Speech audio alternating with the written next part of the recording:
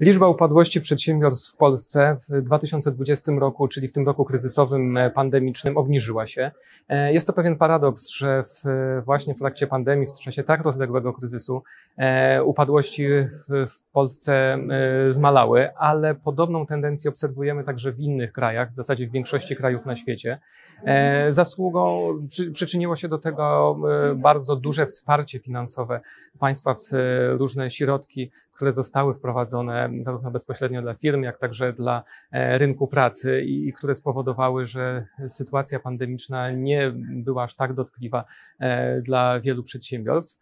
Patrząc na sytuację w Polsce, powinniśmy także wziąć pod uwagę e, liczbę restrukturyzacji, w tym także nowych uproszczonych postępowań o zatwierdzenie układu.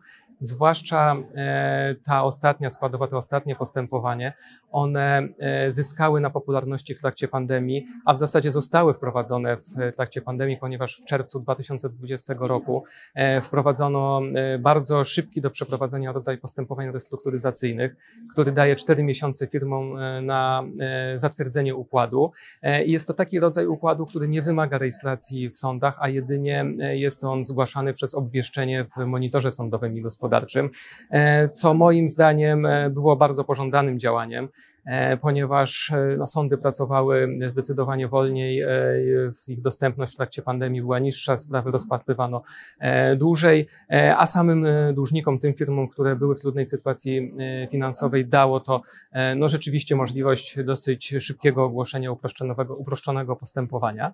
W 2020 roku, uwzględniając właśnie liczbę uproszczonych postępowań o zatwierdzenie układu, czyli patrząc ogółem E, dodając do tego liczbę upadłości tych e, tradycyjnych restrukturyzacji, to łączna liczba niewypłacalności przedsiębiorstw w Polsce wzrosła o 22%.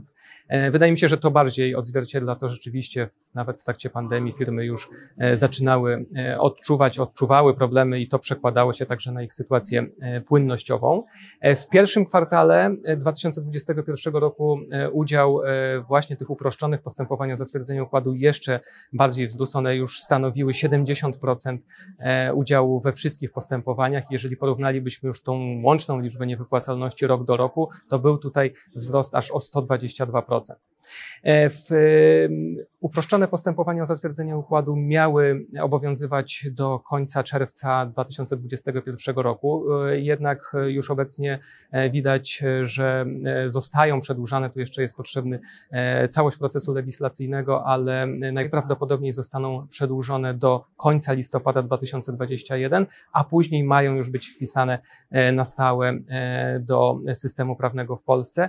Pytanie na ten moment jest, w jakiej formie, czy to rzeczywiście będzie ten sam e, rodzaj uproszczonych postępowań o zatwierdzenie układu, czy one będą zmodyfikowane i już nie będą tak powszechnie stosowane przez firmy, które będą w trudnej sytuacji płynnościowej.